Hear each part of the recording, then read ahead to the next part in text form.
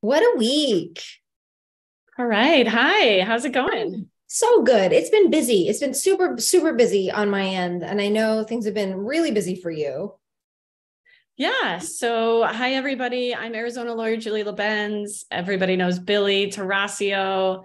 Um, we're so excited to be here today. We're doing this every week on Thursdays at 11, talking about different family law, legal topics, and taking your questions.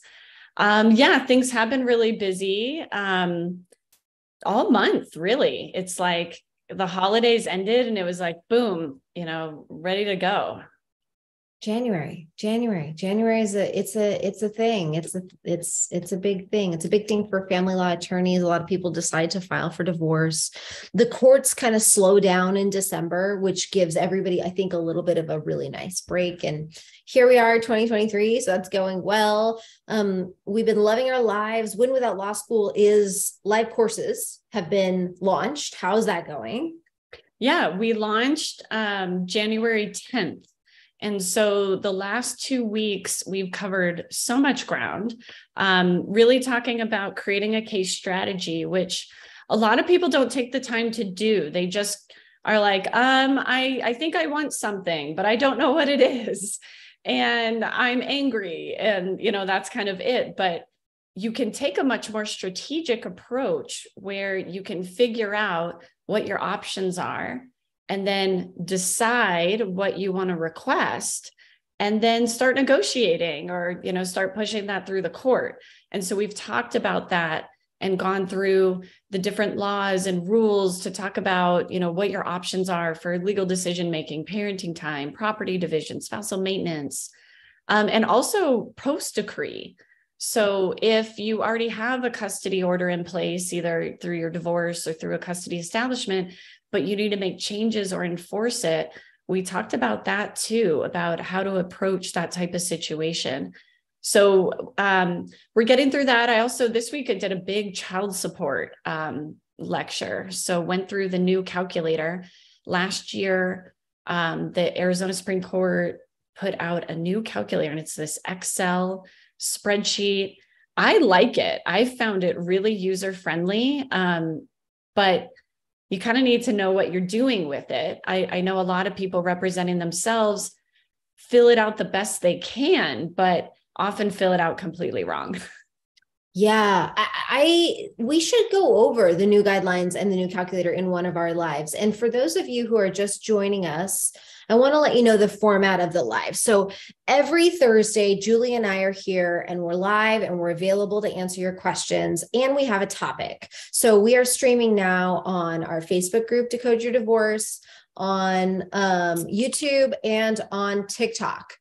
Let's make my computer be quiet. So today's topic that Julie and I are going to discuss is gathering evidence and then presenting evidence for your custody case. But many of you have questions and you send us those questions and we field those after we get through our topic of the day. So um, the best way to ask questions is either in the comments on TikTok or on our Facebook group in the Facebook Live. That is Decode Your Divorce Support Group.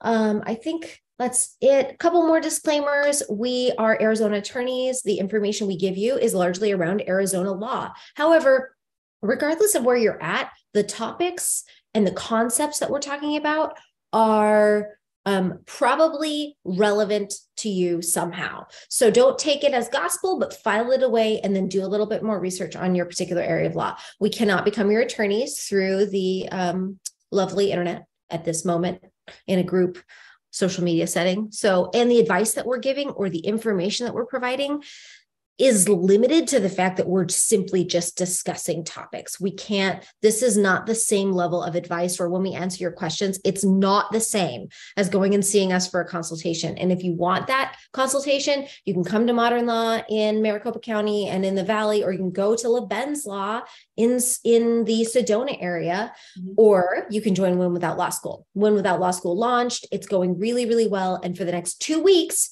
you can get one year's access for $297. After that, price goes up. So um, I would highly recommend that you all join now. Did I miss anything, Julie? Nope, you covered it. Fantastic. So let's kick it off. How do people who are going through a custody case decide what evidence they should be gathering? So, gathering evidence is a kind of complicated Ugh. because you've got to think about things from a whole different perspective. It's not, you know, you're not just telling a story to a friend, you're trying to prove something in court. And so you've got to look at a lot of different things about how you're going to present this evidence. And one thing to, you know, one starting point is that your testimony is evidence okay? A lot of people i encounter you know as clients and they're like oh well i uh, it's just me saying that. Yeah but if you're under oath and testifying that is evidence. But keep in mind that if it's just your words and that alone it's not necessarily the strongest evidence.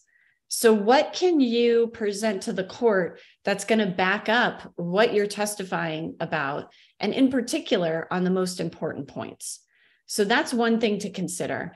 Secondarily, secondarily is thinking about taking something that's very voluminous and summarizing it down to a page or two for the judge. You know, if you come in with a year's worth of text messages that have been copied off and it's like 500 pages long, and you're like, move to admit exhibit one, and the judge is like, I don't have time to read through 500 pages of text messages. You're really not making an impact.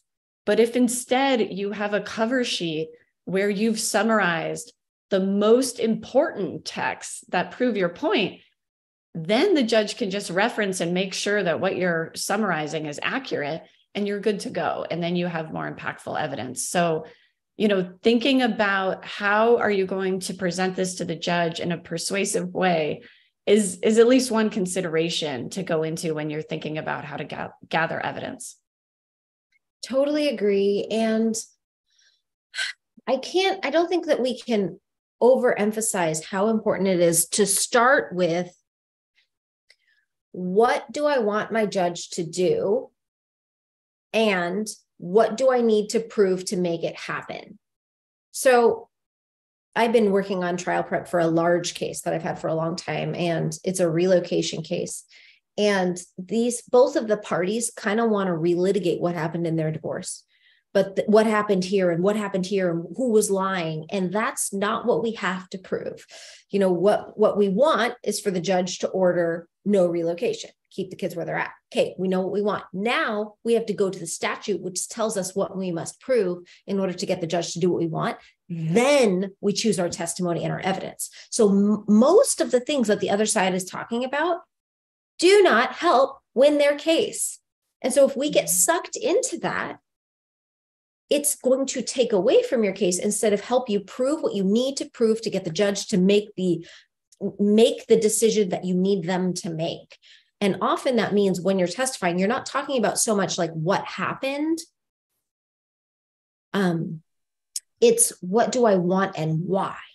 And then what happened doesn't matter. You're not asking the judge to believe he said over she said. You're saying this is the pattern. This is the this is the dynamic. This is the relationship between the child and the parent or whatever. And this is why we need you to do X, Y, or Z. Does that make sense? Yeah, it does. And I would add to that to make sure that you're positioning your arguments in this context of the best interests of the child. Because if you're wanting to rehash the past and it's going to be about this he said, she said, or dad's bad, mom's good, or mom's bad, dad's good, you, the judge could like start snoring in the middle of your trial because the judge doesn't really care about the mm. back and forth between the parents. The judge wants to know about the kids and what's going on with them and what's best, and really wants the parents to learn how to communicate better for their kids. So coming in with just, oh, mom sucks and this is why really isn't the judge is going to be like, oh, well, I've heard that a million times before. But if you can say, mom sucks because this is what she does with the kid, then the judge is like, oh, wait, so what's mom doing with the kid? What's going on? And how's this impacting the child? Then you have a better angle where you're going to get the judge's attention. So, oftentimes, and I'm sure you've experienced this too, Billie, you get you talk to a client and they're so intent on trying to prove the other side lied which yeah veracity is always at issue but it's not necessarily relevant to deciding a parenting plan for example. it's not. It's not and one so, of the factors. Which parent lied is not one of the factors. So if you're going to gather all this evidence about a lie and if it's related to the child or you know if there is something really compelling about the lie maybe it's worth your while. But if it isn't and it's just not that big of a deal then you've just wasted a lot of time. So like let's talk about decision making mm. like let's start there mm-hmm. what are mm-hmm. your thoughts about gathering evidence on a legal decision making contest so if you are asking for sole decision making or final decision making there's only a few ways you get there you only get there by proving that, um, you know, one parent is an alcoholic. But even and, and that's that's this is statutory. So statutorily, if you can prove that one parent has an alcohol conviction, drug or alcohol conviction within 12 months, you have a presumption in your favor. That's helpful if you can show domestic violence, you have a presumption in your favor. That's helpful. But you really even want to take it a step further. So I think the question is always why do you need legal decision making? Why does you having sole legal decision making help your child? That's the question you have to ask yourself. Why why is it important for me to have legal decision making? Why is it essential for me to have decision making to to execute things in the best interest of the child? And then we have to figure out what facts exist for your children and your case that would help you explain to the judge why you need it.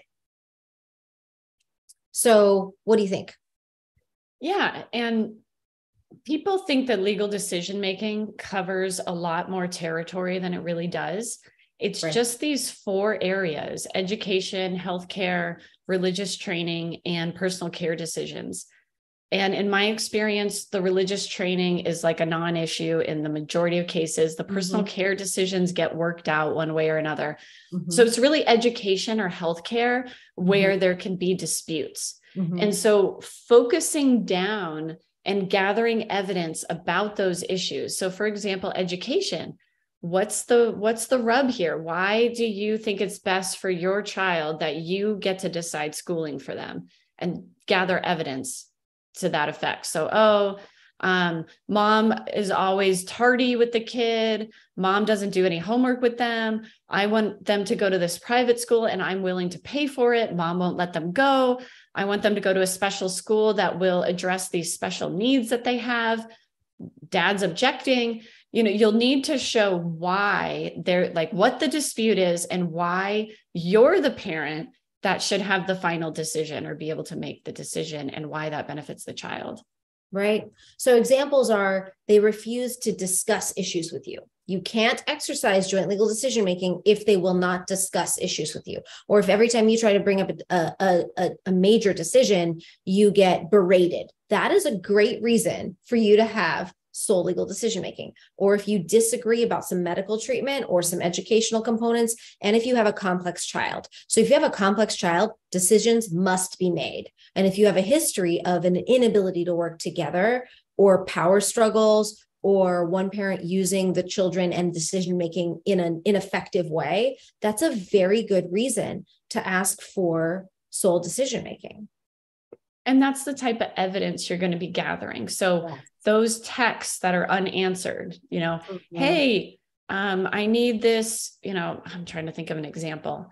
Um, you know, I, I want to get little Johnny into counseling, and um, the counselor needs you to sign off on the form so that yeah. Johnny can go to counseling and yeah. silence. Yeah. You know, those would be some text messages where it would be good to print those out. And when you're printing them out, if you can get it to show the date mm-hmm. or going back so that when you're printing it out, it shows the date, that's really helpful because when you go to trial and you're trying to present this text message, that's going to be one question that comes up. Well, when was this? And who, who is it between? Like laying all what we call foundation, mm-hmm. laying the background so that there's sufficient information to understand the exhibit and see if it should be admissible.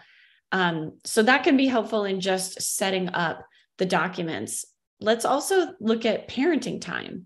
Mm-hmm. So if you are looking to present evidence about parenting time, how about putting your parenting proposal in writing? Absolutely. Making it an exhibit.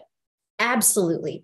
Absolutely. If you are going to court, make your own parenting plan that you want and be prepared to testify as to why you want this particular parenting plan why you've thought out each each individual thing. Absolutely 100% of the time.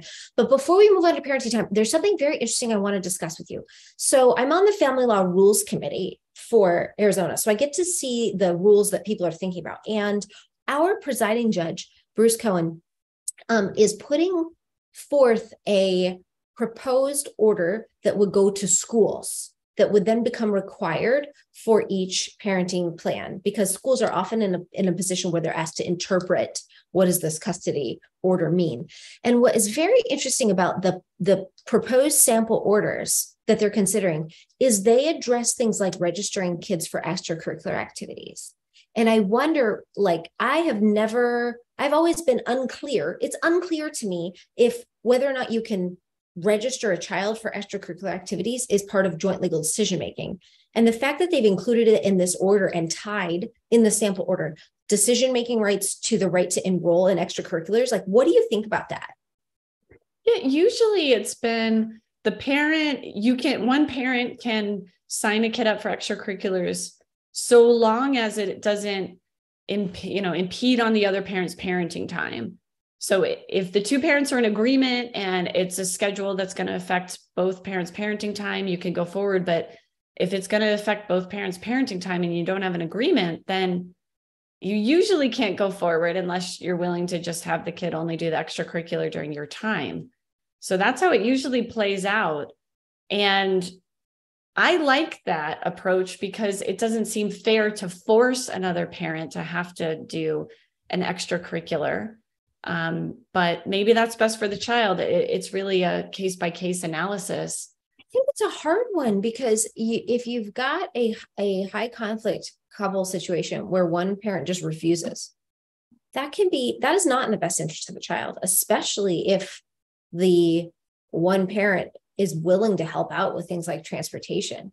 So it's, I think it's just a hard situation. Like you don't want to impede on somebody else's parenting time. They should be able to have their parenting time but at the same time you don't want your that that person's stubbornness to be able to deprive your child of the ability to do activities they want. So it, it's something that i i strongly suggest you put in your parenting plan. And think about it from all angles. Maybe it's you know the child will do no more than one extracurricular at a time or the child will continue with the current extracurriculars and w- won't make any changes unless agreed to by the parents or something or a provision regarding mediation there's a provision in Kim and Kanye West's divorce decree that is so interesting that says if they disagree, because they have joint legal, but if there's a disagreement, they agree to go to mediation. Here's where it gets interesting. If one party doesn't show up or refuses to participate, the other person gets to make the decision, which is kind of fun. Yeah. I would imagine it could get very complicated with multiple children, right. different extracurriculars, schedules, yeah. you know, weekend tournaments. Mm-hmm. Um, so yeah, I mean, if you just have one child and they're in one sport, it, it, there's probably no disputes at all. But multiple children, multiple sports, yeah, you really need to get on the same page. Yeah. Yeah, not easy. I have four kids. They're of very, very different ages, and it's it's challenging. It is challenging, and you really are better off coordinating. But then coordinating can lead to a lot of power struggles. So figuring out how to undo power struggles within a co-parenting relationship is just so important. Court never ever ever helps, but you know, such is the life we lead. So when you are determining what evidence to get, you're going to figure out what do I want the judge to do. If you're going to ask for custody, you know, decision making, you want to focus on why we can't make decisions together. If you're going to ask for primary parenting time, now you need to figure out and focus on why the parenting plan you're asking for is in the child's best interest. How should people do that? So, like we said, it's great to make an exhibit with your proposed plan. Not only is that helpful for the judge, because then the judge doesn't have to write down every mm-hmm. single thing, the judge has a document mm-hmm. that the judge can refer to after the trial. Mm-hmm. Um, and then also, it's a guide for you to use while you're testifying because you'll be nervous and may forget some things. And so it's all right there, which is really helpful. Now, if you are requesting an essentially equal plan, then you're going to meet less resistance from the judge, at least in mm. my experience. Oh, yeah. Then the battle just may be over what type of essentially equal plan. Are you going to do every other week or 522, 322? I've heard it called both, um, which is where one parent has Monday, Tuesday, another parent has Wednesday, Thursday, and then you alternate Friday, Saturday, Sunday every other week. So, and then there can be some other variations too. So there could be just a contested issue over what type of essentially equal plan. And if that's the case, then you really want to focus on why is your requested parenting schedule better for your children? And there is the best interest standards that you can weave in, but essentially that's the bottom line. Mm-hmm. Um, and then if you're going for a non essentially equal plan where you're wanting more of the time, that can be something where you're going to need to present additional evidence. Mm-hmm. Why is it best for your child? Maybe it's that it's better for your child to have consistency during the school week mm-hmm. and not be going between houses. Mm-hmm. So, what can you show in their attendance records or their school records to support this argument that consistency helps them do better? You not you're not necessarily going to be convincing the judge if you just say it. Mm-hmm. You'll want to have some records to back that up. Um, there may be safety concerns um, mm-hmm. with your co-parent and mm-hmm. so explaining what those are, and maybe having some photographs that support your claims of abuse. Um, realize that the other side could deny what you're saying. So, any additional documentation that you have that supports your position can be helpful so the judge has something else to rely on other than just he said, she said. Mm-hmm. The other thing is, if you think you're going to have, I find that this happens a lot where parents will agree to joint legal decision making in the beginning. They don't disagree about that very often. But after a temporary basis between when the, they split up and when they're going to trial or when they're mediating their divorce, legal decision making disputes will have occurred. One of the things that you can do is you can work into your parenting plan ways to address those issues. So if you've got kids with any complexity at all, autism or um, any type of special needs, you can work in that you'll defer to your current provider's plan mm-hmm. or other ways to resolve a dispute. Counseling is something that parents um, often disagree about. So having a way to say, um, you know, we agree to allow counseling, or um, we agree that in the event one parent thinks the child needs counseling, we will select one from the list or something to move you forward when you hit deadlock. And one of the one of the nice things is, you know, Julie and I, because we've been doing this for so long, we know what deadlock what deadlock looks like and what causes it, and we can try to get in front of it. Mm-hmm. So another um, issue that can come up in a custody case is child support. So if you're in a child support battle, um, first of all, you need to put together a proposed child support worksheet. And again, this goes back to what Billie was saying. What's your requested outcome? You know, what's the number that you're asking the court to order for child support? That's where you start. And then you can work backwards. Okay, here's my worksheet supporting that number. Here's where I got my numbers for gross income for each parent. Here's the health insurance credit um, you know, going through each of those adjustments and then having a document to support that expense that that could even be put into one exhibit. It could all be stapled to your child proposed child support worksheet with all the support for your numbers right behind it. And then you have a document right there to testify to. But mm-hmm. just going in and throwing a number out there is not going to work mm and not having solid evidence about incomes is going to leave the judge with a lot of wiggle room, a lot of discretion to figure things out, and that may or may not work in your favor. Absolutely. Okay, we've got a bunch of questions. Um, anything else you want to cover on how to get this exa- evidence in before we move over to our questions? Just um, the more that litigants can think about taking the issues that they're having and putting it into an easy to understand document can be really helpful. So um, maybe you're keeping a log of things that are going on with co parenting issues and then typing that out and using it as an exhibit, you know, just really thinking about how to simplify things and make it easy for the judge to understand your point of view because the judge has hundreds of cases. So don't expect the judge to just get your position right away. Like you may need to have some documents and stuff to help to make your position easy to understand. So there can be a hundred things that happen over a two year period, and you're just not going to have enough time to present all of that. So identifying which things are most important and putting that together in a very um, easy to understand narrative is really important. So absolutely. One of the things that we created for our clients and for people who are representing themselves is our divorce planner.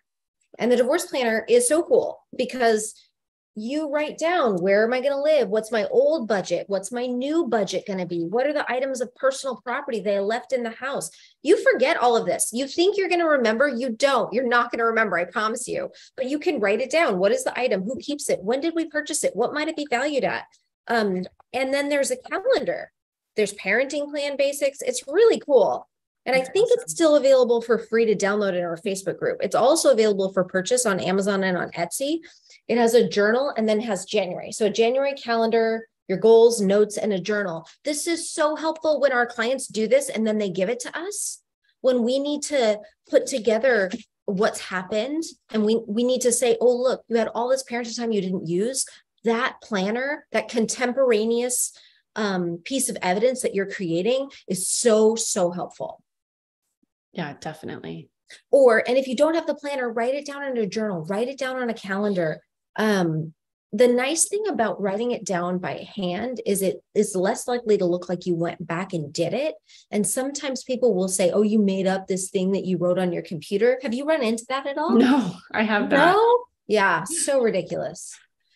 Um, all right, lots and lots of questions. Um, oh, the first question Are there any tools that you know about that can help be used to collect data and get it in one spot for the invited people, like a lawyer or a judge, to see, or maybe even service providers? So well, this yeah, you're... Like a, a Google Doc or Google Sheets is, I think, what you're what you're like a collaborative portal. Mm-hmm. Yeah, that would work. Or the notebook you were just showing too. Mm-hmm. I mean, the the notebook Oops. Sorry, TikTokers. Spell down. Sorry, guys. Um, the notebook is not something that is shared in real time, but normally lawyers don't need it in real time. There's not a lot of advantages to us being in the day to day, except for it costs a lot. um, but you could we use Box at my law firm so people can upload documents and we can share documents through Box. We also use Clio. Clio has a portal and an app, or you can use something like Google Docs and Google Sheets. Um, next question Is OurFamilyWizard more credible than text messages? Our GAL is requiring us to use OFW, but then she charges us one hour per month to review and analyze it. And then she doesn't do anything with the information. Um, I mean, the question was, is it more credible? I don't, I don't think it's any more credible than a text message. Um, the purpose of it is to manage communications in a different way that's not available via text. Um, so I don't know if if the courts give any more weight to one or the other as far as you know reliability, but um, I don't know if that's really her question. You know, I know that's how she wrote it, he or she, but I don't know if that's really what the question is here. It seems more like the question is why are we doing all of this data input and paying for it if it's not resulting in anything? So I'm using OurFamilyWizard. Um, it's recent and it's kind of a pain. Like I don't love it, but what it does is it it just it makes it just a little bit more difficult to communicate. It does. So like for instance, I took my kids to the dentist. They gave me information. I had to download it, log into OurFamilyWizard, upload it, as opposed to just sending a forward. So it definitely creates a lot more steps to communication. And so I think what it does is it places like a higher burden on notice and communication. Like you really have to go out of your way to make sure that you are getting things into OurFamilyWizard in a timely way. Um, so in some ways, I think it does like it's easier to point out flaws or missed things because it's all in one place. Whereas our text messages are just you know forever and forever and forever. But if you have if you're using OurFamilyWizard and you need to say you know on xyz date happened i sent an email nothing back. It's all in one place to show it. So um, i think it is a good litigation tool but in terms of like somebody reviewing it and charging an hour a month maybe you could ask them to stop. Maybe you could say hey could you refrain from um, reviewing this once a month and review it only before hearings or review it if we ask you to? I bet if you and your uh, the other party asked that would be a reasonable request that they should follow. Um, does court ordered arrears child support affect someone's ability to get a home or their credit worthiness um, probably, and especially if it's a judgment, an arrears judgment, that should show up and yeah. could impact them. Mm-hmm. And every loan application asks you, are you obligated to pay child support? Are you behind? So um, I don't know that it, it affects the credit score. But the question here was credit worthiness. And I think, yes, absolutely. And then, yeah, if there's a judgment, that's even going to be worse can I baptize my son if I have 50 50 and his dad says no? My daughter was baptized and dad is Catholic. No. My initial instinct would be well, you know, the courts say do your own thing religiously during your parenting time. Um, of course, this is not just taking a child to a place of worship, it's engaging in a ceremony. Um, so it's a tough one. And and it's kind of like whoa if you did it like what would a court even do? I mean i don't i don't even know if there's a remedy for this one if you were to do it. Interesting that's kind of interesting if the dad is of the same religion that he would be objecting. So there's a obviously there's a lot more to this story. Mm-hmm. absolutely. Um, next question. I'm a trans man. My ex and i had a son.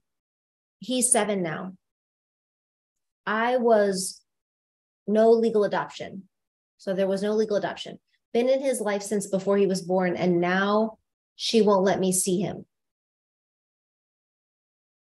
Um, so we do have a third party rights statute in Arizona, which allows for a court to award visitation based on what we call an in loco parentis relationship. So it's a Latin term, but it essentially means parent like relationship. So if you can establish that you and the child have a parent child relationship, even though you're not related by blood, um, the court can award you visitation. Now, these cases can be very expensive to litigate, they can take years to resolve. Um, so if you're able to open up a new line of communication with, I, I believe it was the mother, and um, try to work things out and get some time, that would be your path of least resistance. Um, and if you do initiate litigation over this to assert third party rights, you'll write in your petition, you have to prove your parental relationship. So um, there's there's an initial burden right off the bat to meet to show that relationship for the case to even go forward. Yeah, we used to see a lot of these cases before gay marriage was legal in Arizona.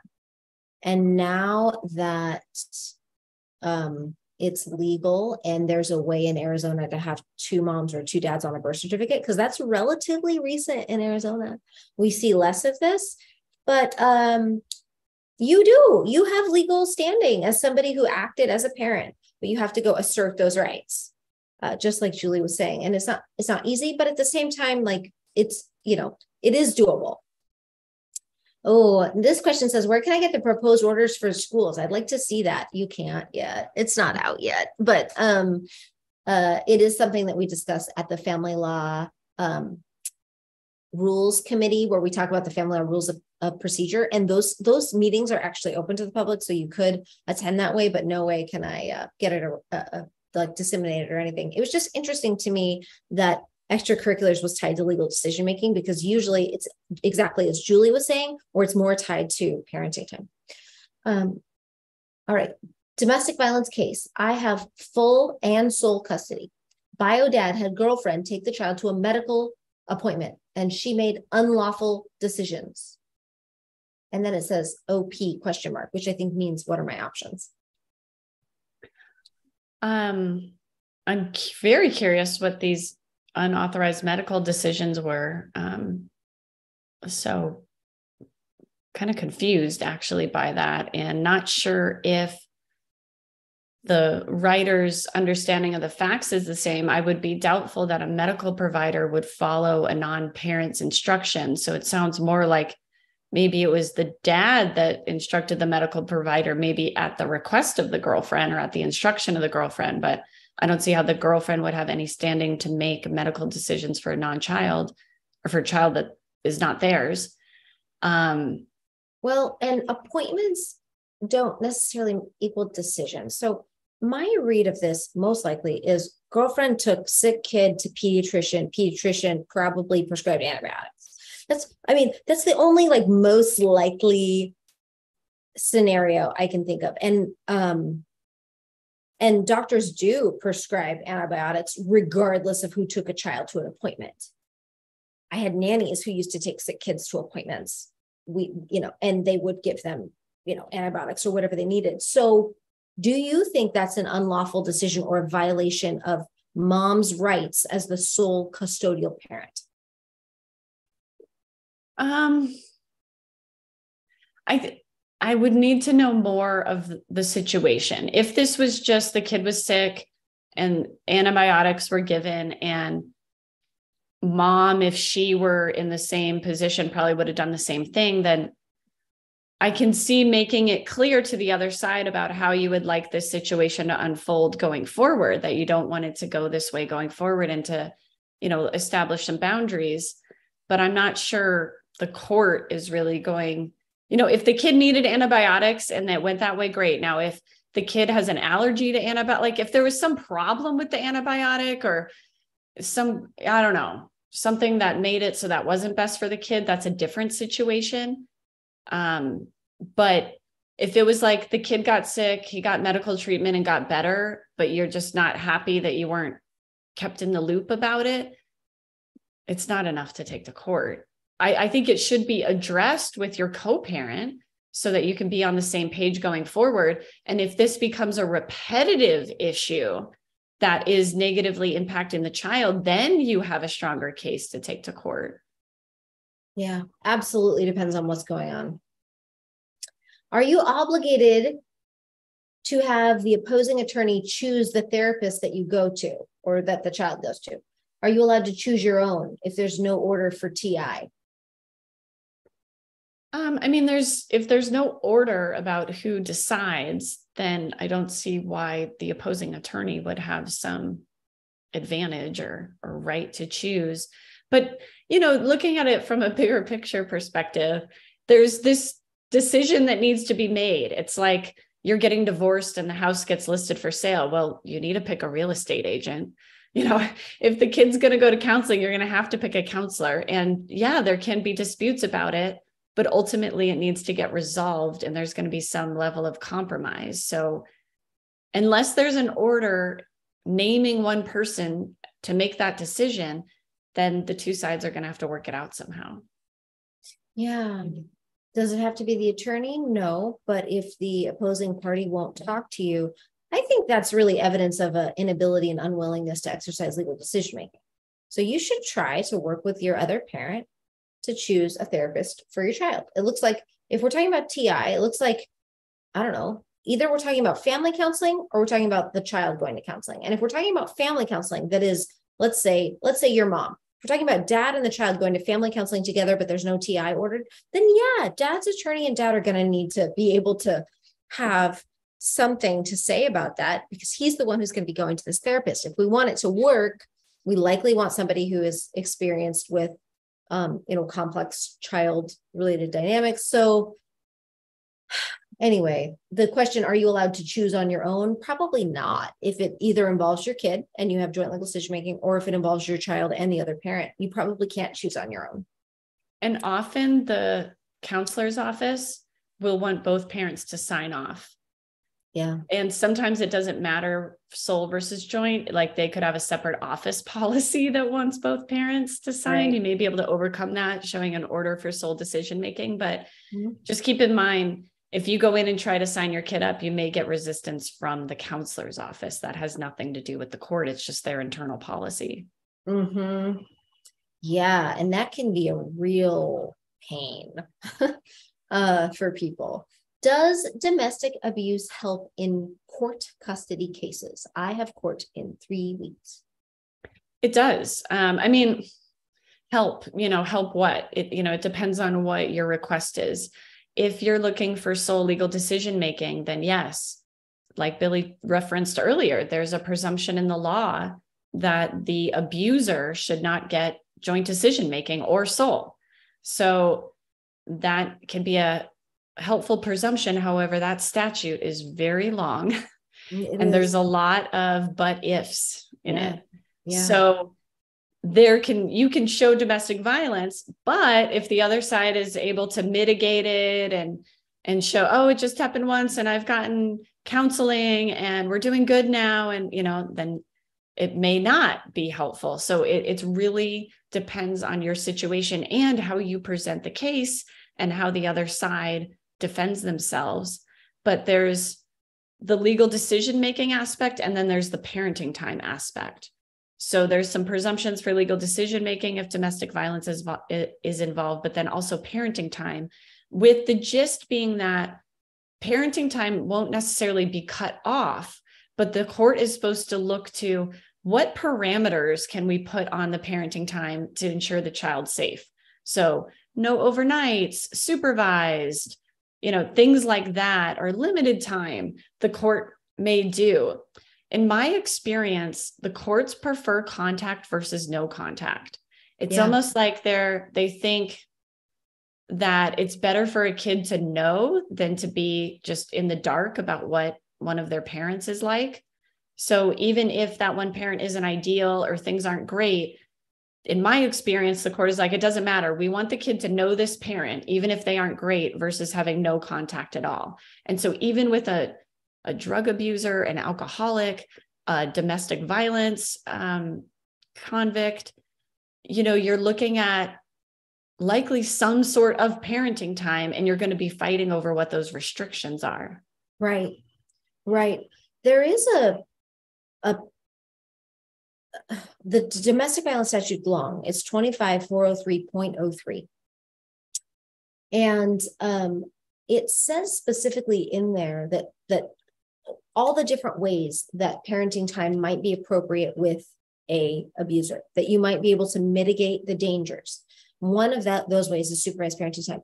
It goes on to say what the restrictions of supervision would be what the obligations of the supervisor would be. And I rarely find that those get incorporated into orders. But if you're going to court in three weeks and supervises parenting time is one of the things that you're um, looking to get, even regardless, because you're going to court in three weeks and you have domestic violence issues and charges, please read 2540303. And please think about what you want to ask and tie it to that statute and remind the judge of that statute because I see, in my opinion, I see judges get this wrong. I see judges order a lot of unrestricted parenting time, even when there's proven domestic violence between the parties. And it, it breaks my heart and it's not always safe. So definitely check that statute out. Yeah. And I also wanted to mention if you're requesting supervised parenting time, keep in mind that you need to have a full proposal. Yeah. You're not just like, court, I want it supervised. And the court has like a whole room full of supervisors that are ready to just come into your life and, and manage the parenting time. Right. That does not exist. Instead, you need to propose who the supervisor is going to be mm-hmm. and make sure that person's on board for it and have that all worked out. And what you may find is that there is nobody to do the supervising Right? You can or, pay companies mm-hmm. to do it. It's very expensive.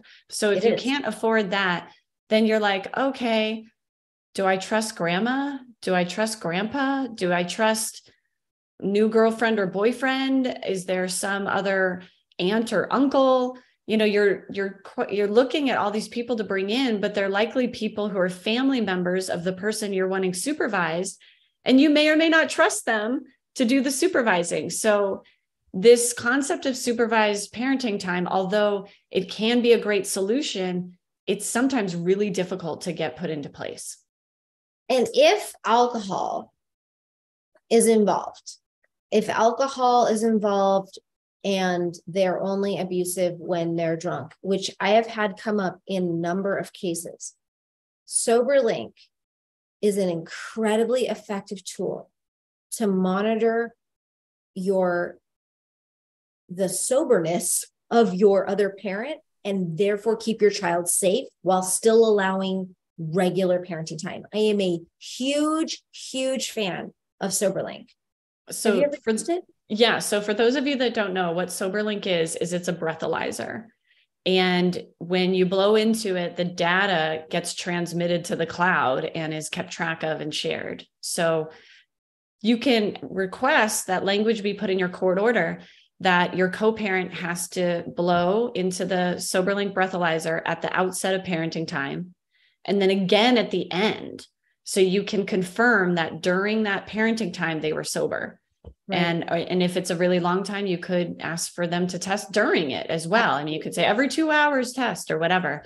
Right. Um and so that would be you know when Billie talks about what is your requested outcome? That's something to look at. Okay i am requesting soberlink. I want it every two hours. I want the i want my co-parent to pay for soberlink. You know all of those terms mm-hmm. are are what you're going to want to talk to the judge about. Mm-hmm. and you may even want to offer to pay for soberlink. It is cheaper than supervised parenting time. It is cheaper than you know the child care and i've seen kids be able to establish you know healthier relationships with mm-hmm. abusive parents. So I I am I'm a big big believer that this if keeping your parents sober allows for parenting time, absolutely do it. I wish there was something like this for um for drugs um or other abusive people who are not using alcohol, but it's come up enough times so that I'm I'm just a real real proponent of it as a a, a viable option um, to allow parenting time it's more long term than supervised parenting time. Like Julie was saying, actually following through with supervision, finding people to do it, making sure they're actually doing it right, making sure that they're, you know, that they're there is really, really hard. It's not a great long term outcome, in my opinion. Sometimes it's the best you can do, but it's it, there are challenges with it. If the other person does not turn in the paperwork that the judge has asked for, does the divorce get put on hold? So it really depends. Sometimes that situation can cause a delay if there's compelling reasons why um, they didn't get their paperwork in, or sometimes even if there's not a compelling reason, but there's some document that the judge really wants to see that that person needs to produce. The judge may delay because the judge wants to see that particular evidence. Otherwise, no. Otherwise, the judge will say, You missed the deadline. Well, too bad. And we're just going to fill in the blanks based on whatever evidence is presented. So I would say most often it will be the we're going forward. You missed your deadline. Too bad. But i don't want you to think that that happens every time because i've gone into hearings and been like oh this is going forward no matter what and the other side missed their deadline and you know they're going to have to suffer the consequences. And then we get to court and the judge is like well actually i da, da, da, da, da. and it's super frustrating. So there is no clear cut black and white answer. It really just depends on your judge and your situation. Absolutely. Um, so many good questions here, not that much time. Here's a, a one that I really want to address. When can I present evidence to the judge as I don't want the other party to see it first? So um, it doesn't work that way. It used to. Um, prior to this judge named Judge Zlaket creating new rules, there used to be a lot of surprise at trial. Mm-hmm. And eventually the court said, this is just not efficient. And so in came what were called the Zlaket rules, which required each side to show their cards. You have to show everything that you're going to present prior to the trial, all your, your list of witnesses, a summary of what they're going to talk about, all of your exhibits. And often too you know your your theories um, that's not always explicitly laid out in rule 49 it is in rule 26 of the civil rules. But i think that there is um, an argument to be made that those theories should be sh- shared as well. And so now you're supposed to supposed to share all of that. And we're not supposed to have what's called trial by ambush um, the only time that you can talk to the judge without the other side being there is at what we call an ex parte hearing, which you can get on an emergency basis or through an order of protection. However, that amount of time you have that is ex parte is limited because the court always allows for due process, which means there's going to be what's called a return hearing, a follow up hearing where the court will hear from both sides.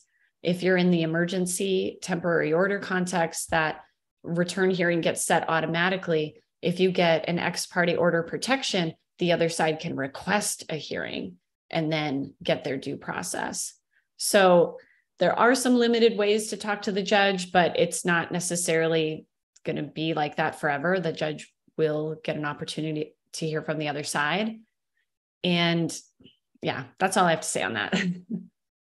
okay. Um, what happens if a party refuses to pay the child custody fee given by the judge? Um, well, the judge, I would bring that to the court's attention. I'm sure that the um, provider who's wanting their money, they're likely going to bring that to the judge's attention. Often, what happens is the provider won't perform the work until they get the full money. And so it creates a delay and it comes to the judge's attention that way and then the judge will see what they can do to remedy the problem. Um, are there marital assets if this is a divorce that the court could make certain orders about to get the money to pay? Um, is the court possibly going to order the other side to pay just to get this done with an equalization to be happened, you know, down the road? Um, I, I don't know, but essentially the judge is going to look at the situation and likely impose some sort of sanctions on the party that's causing the delay. One interesting thing this brings up is um, the courts will often order parties to do something a comprehensive family assessment, um, marital counseling, a, a, a CAA or a court appointed advisor. And there is case law regarding, you know, what happens if you don't do it? Um,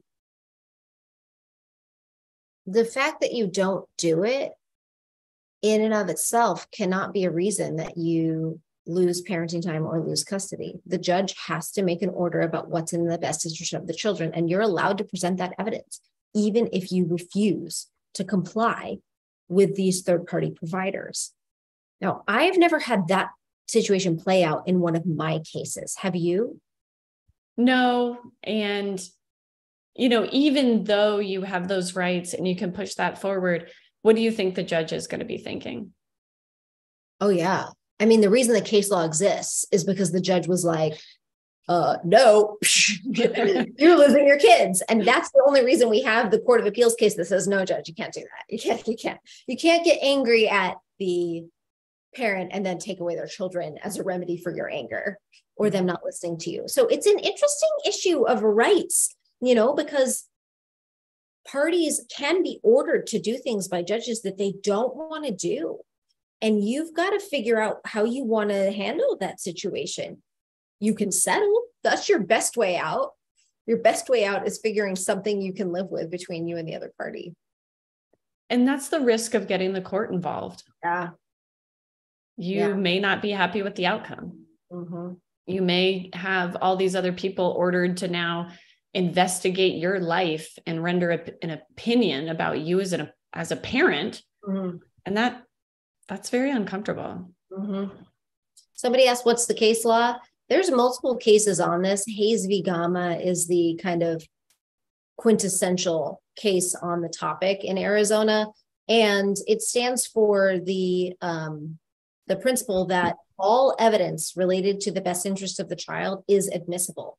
So that's the only type of evidence that you might be able to sneak in if you haven't disclosed. If you have evidence related to the best interest of the child, the court is supposed to consider it, regardless of disclosure, regardless of whether or not you did what the court wanted on XYZ other issues, they're supposed to consider it. Um, somebody said you mentioned rules 49 and 26. Where do we find these rules? Um, so 49 is from the Arizona Rules of Family Law Procedure. 26 is Arizona Rules of Civil Procedure, which I was just referencing that. You really don't need to look that up if you have a family law case. But um, if you go online and you do a search for Arizona Rules of Family Law Procedure, you'll see a link that has Westlaw in and click on that and that'll take you to all of the current rules. Okay, let's see. We've just got a few minutes left. Let's do one question and then I want to make sure that everybody knows about Win Without Law School. Um, any tips on common deadlocks for decision making and some ways to get around the deadlocks?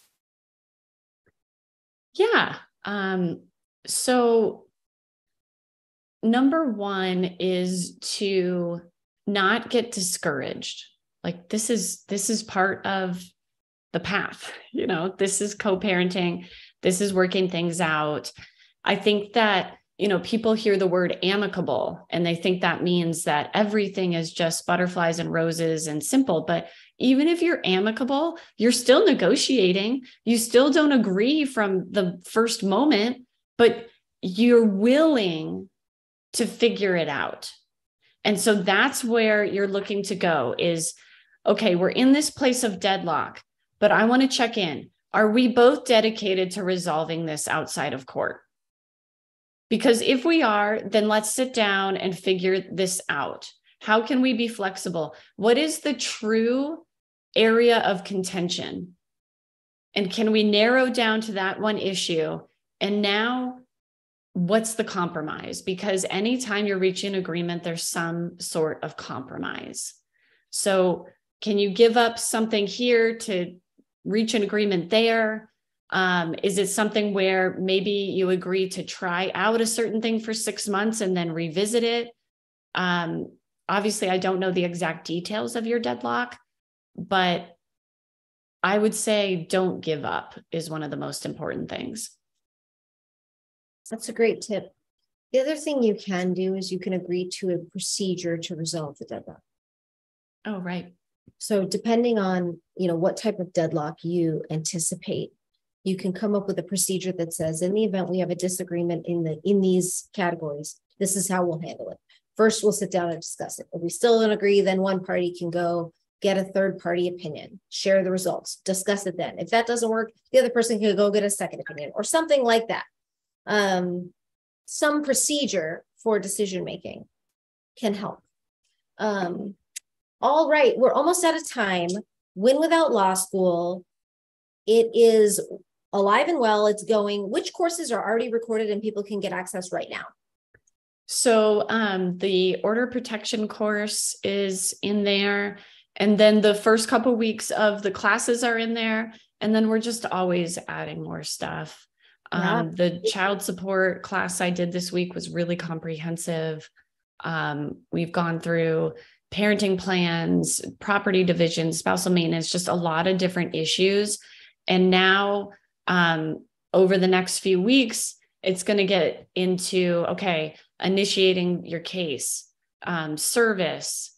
Um, and also, even before we get to that part of filing the case, we are talking about how to try to work things out before you even file and how to open that dialogue and start um, negotiating because in Arizona, we have two processes that simplify getting divorced or changing child support.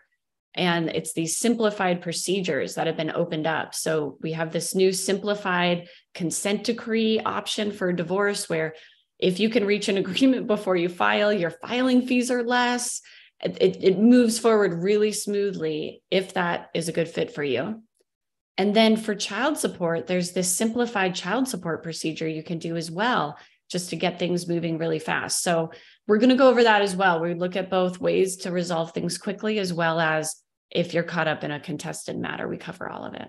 So winwithoutlawschool.com, um, go there, sign up for the email list, and um, you know from there you'll start getting a bunch of different information. Yeah. I mean, we also have the trial skills course. That's a 10 part course that will help you navigate the courtroom. We've got a parenting plan course, We've got the procedure. It's really pretty built out. There's a lot of great information and more is being added all the time. From now until the end of January, you can get one year's access, including the live Q&As with Julie for $297. So head over there, register, and I think we have it uh, broken up now so that you can buy s- smaller parts or the whole thing. So, really great resource. Definitely check it out. Thank you, Julie, and we'll see you next week. All right. Bye, Billie.